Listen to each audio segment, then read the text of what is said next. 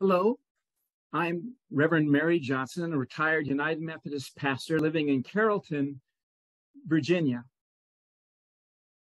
I thank Diane for inviting me to speak with you all today about what it means for me to be transgender. Because every life is unique, my story is unique to me. If you have met one transgendered person, then you have met just one transgendered person. And being transgender is only one aspect of who I am. I was born during a time when the gender binary was being strongly enforced. In our culture, we enforce the idea of two genders. All cultures have not always been this way. Judaism has eight genders, just as many other cultures have different amounts of, of, gendering of people. In the United States, Facebook lists 58 genders. Binary thinking, though, makes people seem invisible because their uniqueness is, is taken away from them.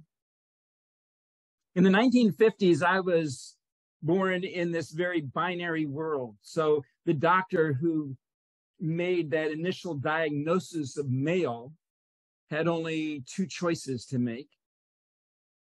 And it seems that my little penis was long enough to qualify for malehood. Gender is not determined by any one factor alone. The mystery of gender is a, a mosaic of many factors. just having a functioning SRY gene on an Y chromosome is only just one of those factors, not all of them. I developed as a transgender child while I was in my mother's womb. The part of my brain that gives me a sense of myself gave me a, a feminine understanding of myself. Some preliminary studies have looked at the, the brains of, of transgender women and compared them to cisgendered women and found that they're very similar. And then when comparing them to uh, cisgendered men, they find that they're very dissimilar. So at birth, I was given the legal gender of male with an expectation of assuming a, a male gendered role. My parents gave me the expected gender markers, like making sure my hair was short and giving me male clothing and boy toys to play with, like a Tommy gun.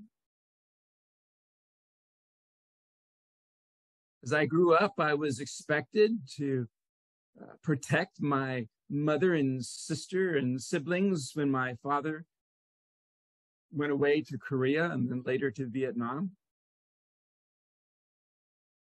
But this gender was not my choice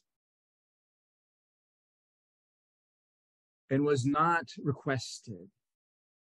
And in my soul, in the very core of my being, it has always been questioned. You see, I have always been a trans female, even before I understood what that meant, even before I had the, the word transgender in my vocabulary. See, I was, I was different. I did not fit in with, with boys as hard as I tried to mimic their behavior. It just wasn't me. And I did not fit in with the girls no matter how much I wished to because they didn't see me as one of them. It was a dangerous and a very isolating time of life.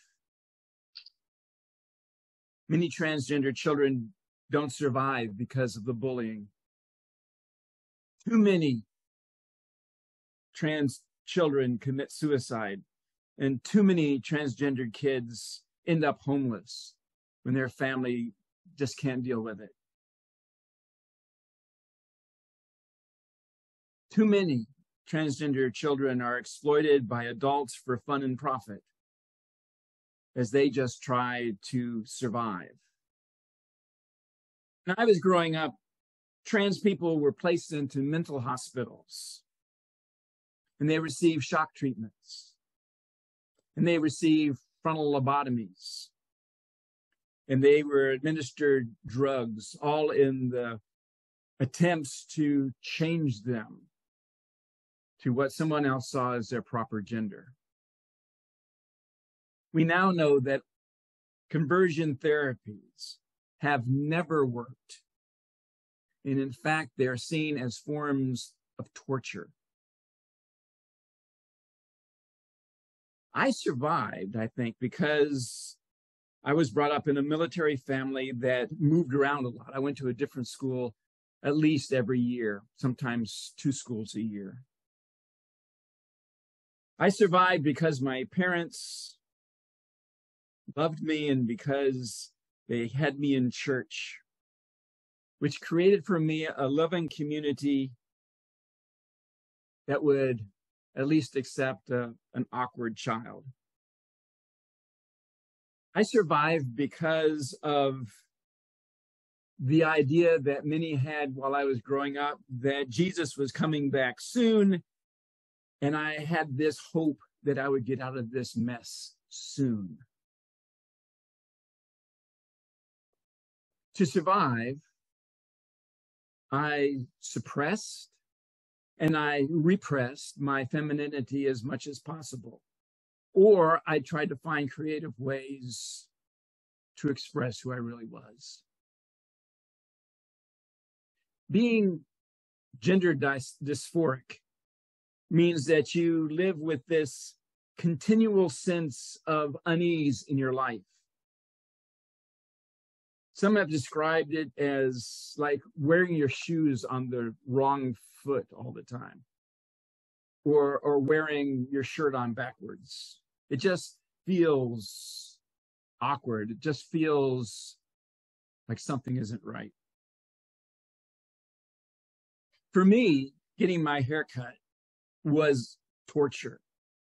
And so I found myself having a mantra that always told myself that it would grow back, that somehow it would grow back. The clothes that I was forced to wear never seemed to fit right, at least in my own ideas. They felt ugly. They never seemed to be what I would like. It was depressing. Male shoes made me always feel like Frankenstein. They always just seemed clunky. There was a, a short period of life when in the mid uh, uh the early 70s when i got to wear platform shoes and wonderful bell bottom pants and i was allowed to to grow my hair out long. But unfortunately, this was just for a very short period of time.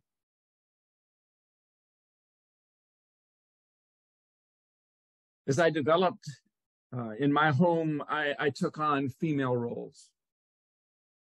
I have always loved to cook. And I used to cook Sunday dinner for my family as I was growing up. I have always done childcare, starting as a babysitter. I, I've loved taking care of children. And I loved babies. And when I had my own children, my own babies went with me as I went off to preach on a Sunday morning. And I happened to be the one who did all the sewing in our home. I persevered as a female identified male until I reached the ripe old age of 55. This is not unusual for people born when I was. By this time, I had been married for almost 40 years. I had two grown sons. And I had come to the conclusion that I did not want to die without anyone ever really seeing me and never really knowing who I was. Unlike what politicians might tell you, to transition takes a great deal of soul searching. The struggle is between what everyone has always been telling you about yourself and then figuring out who you really are. It is a very holy and sacred journey. But once you know, there's no turning back because now your whole life makes sense for the first time. And you feel the, the full force of the error made at the very start of your life by those who made some wrong assumptions about who you were. The first person I told was my beloved wife with fear and trembling. And she was at first shocked and tried to ignore it all. Later, she said, after thinking about it, that I always seemed to have this hidden part of my life. And now she was excited to see what it was. Now, trans cis marriages have about a 50 50 survival rate, which really isn't that much different from everybody else's. But I count myself fortunate because I've been able to continue to be married to this wonderful woman. When I told her, I, at that point, really wasn't sure what that really going to mean for my life or where that was going to go. There was a lot of unknown. She now knew, now knows that uh, her husband was really the wife that she never knew she wanted. I then went to counseling. It always takes some counseling to better understand this revelation and what I could do with it. I turned out to be just a very normal trans woman. Nothing extraordinary, just me. I was sent to an endocrinologist who prescribed hormones. And I never felt so whole in all of my life. And this isn't really something special about estrogen. It's just special about estrogen in me. Because when you hear the stories about uh, trans men and their ability and their opportunity to take testosterone, which for me was poison, uh, they feel the same way. They feel whole for the first time in their life. No matter what politicians might tell you, children cannot take hormones. Children cannot have surgery. It just doesn't happen. It's against the law. It's against normal medical procedures. And there are a lot of them. Hormone blockers are not something that's brand new. They have been prescribed to children for decades when there have been hormonal problems. But for trans kids, they are lifesavers. They help children survive puberty. While they wait until they are old enough to be able to be prescribed the proper hormones for their gender, allowing their bodies to develop properly. You see, the changes caused by what I said, what I call testosterone poisoning, scars you for life. It takes many surgeries to correct. It takes thousands and thousands of dollars to correct. the blockers allow trans youth to grow into the body that corresponds to their gender. Now, not everybody has the same surgeries, and not everybody has any surgery at all. Uh, this is because of many reasons, some of them very personal, and some of them are financial. But trans people have always been very creative in seeking to see themselves and to portray themselves so other people can see them. And that's even before all the modern um, medical breakthroughs that have made things even better.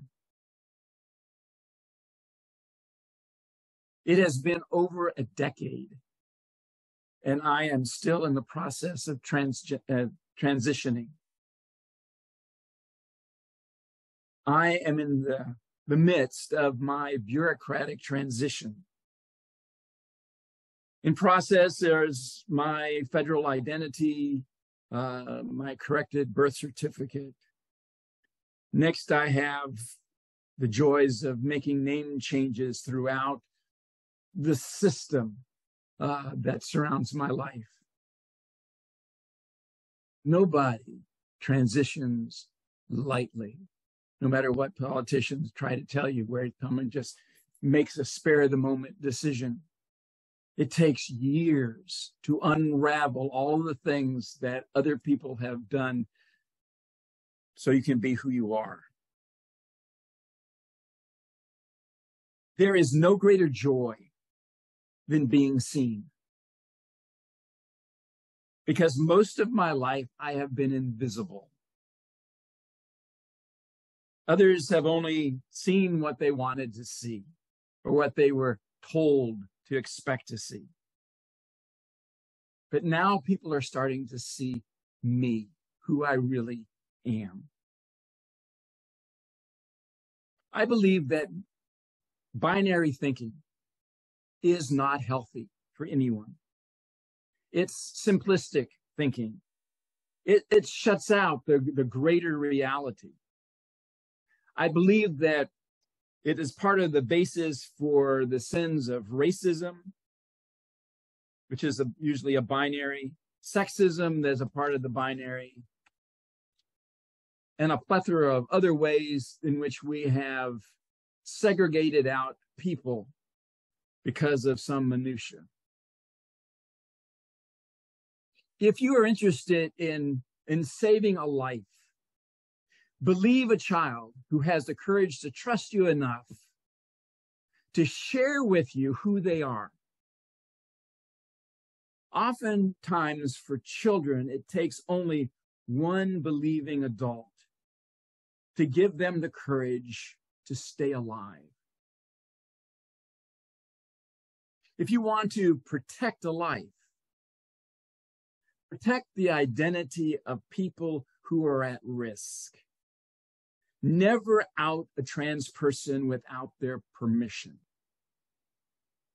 When people are outed, they are often at a risk for violence.